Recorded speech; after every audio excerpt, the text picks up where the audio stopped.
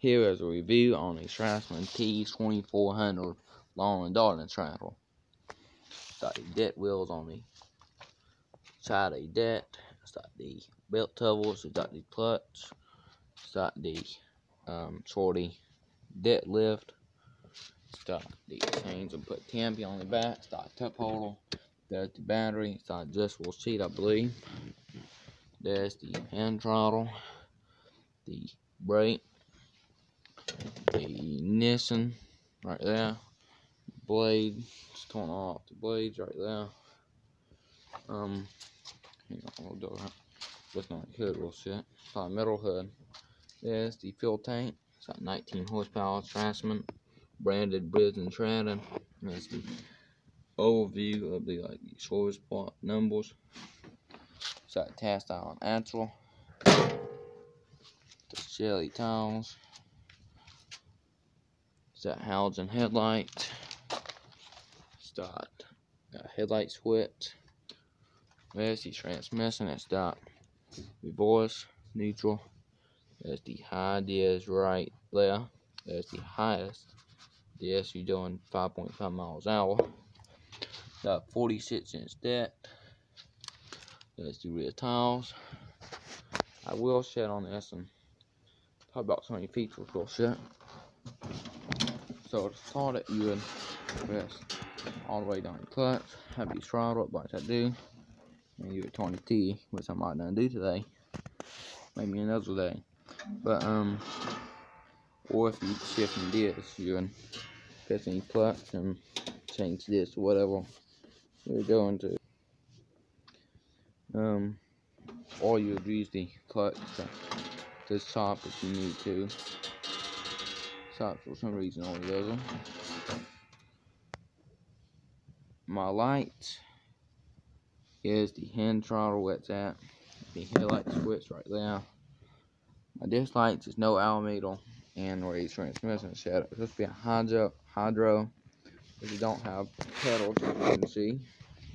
Just the clutch. So you the clutch and shift with this. Got a cup holder there. I do like the metal body compared to plastic. Um, it's pretty good trash. We did attachments to put behind it. I'll talk about that in a moment. But um, I tell what's pretty much everything on it. That's right there. It does have a parking brake right there. Um, let's see go back here to bat we'll set. So mid back seat. Start the hits on the bat Got the hits pin right on the bat Pull it as you want to move this out. It's hard on the trackers, it won't start. So a die-hard battery. So the metal spring springs under the seat.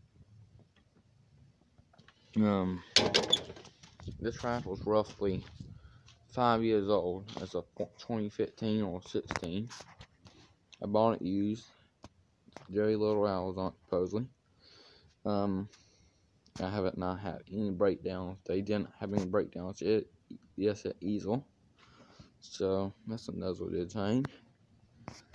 But just pretty good tractor. It's some power in it. Check down to how this. You can get these axles Brandon's taught like James 40 back. Um, this side, no good. Like the oil dip set, and the starter, and the oil chain right there. It's not a metal plug, it's so you pull off and drains out the oil. That's the short plug. Um, that was pretty much all the features stock is built pretty good, I would say. A decent sized rifle. Stock, that's alright. That's was built pretty good. So, that's about it. Um, if you like this video, hit the thumbs up. Please comment and hit the, the subscribe button. Just the notification bell so you don't miss another video. If you have any suggestions about this rifle or another review, just let me know down in comments or something like that. And let me know and I'll see what I can do for you. Thanks. See you in next video.